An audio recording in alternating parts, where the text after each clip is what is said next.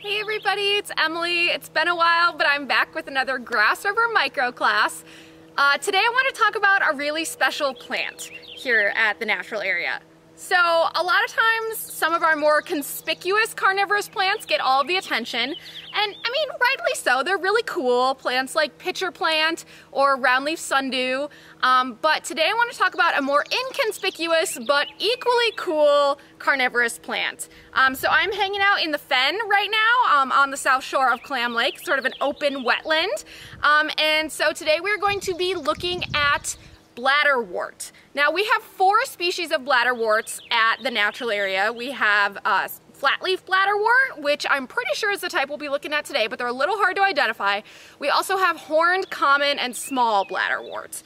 Um, they all like to live in uh, water. They are submerged, free-floating, um, plants, meaning that they don't actually have roots, though many of their leaves sort of go into the soil or the mucky substrate and almost act like roots.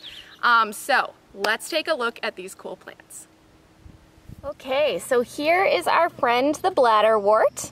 Um, as you can see, it would be really inconspicuous without its flower. It's got these really skinny looking stems, um, and the rest of the plant is under the water.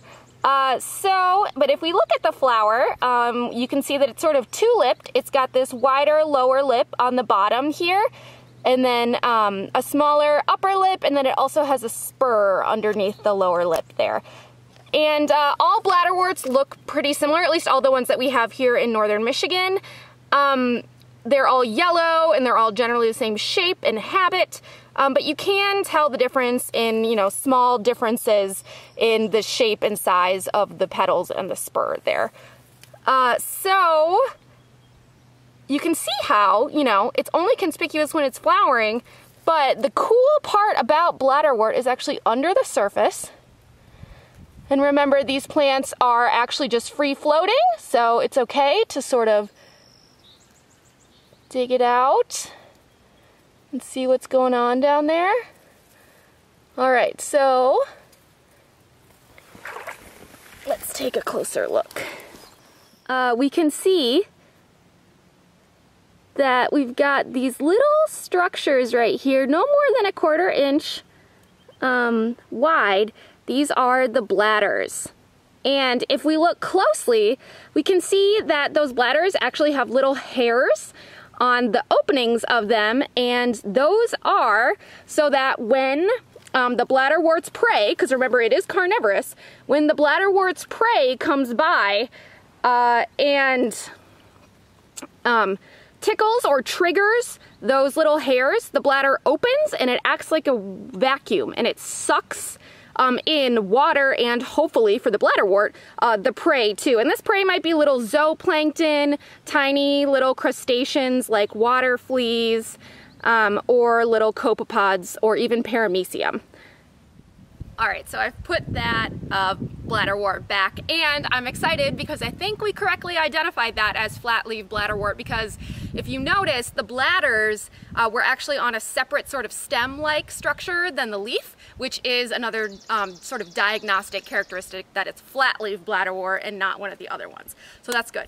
Um, so when the bladderwort captures that prey, it actually houses uh, certain types of bacteria and different, um, it has different enzymes inside those bladders that help to break down that prey, and that is what supplies the bladderwort with nitrogen. So it is not getting nitrogen from, um, well, first of all, it's not getting any of its nutrients from the soil because remember, it's not rooted. It is um, sort of free floating in the water. So it's getting some nutrients from the water, but it's not getting nitrogen from the water or not enough.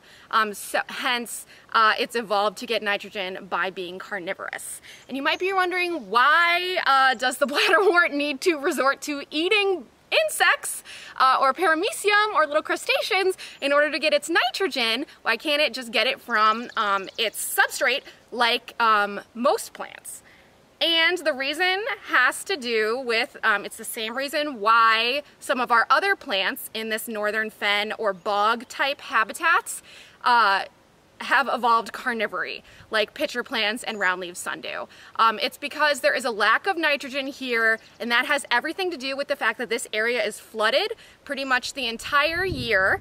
Um, and so plant decay is really slowed down by being underwater in sort of a low oxygen environment. Um, so if you are a composter, you know that you get nitrogen in your compost from your green materials that you add to your compost and the browns are what gives you carbon.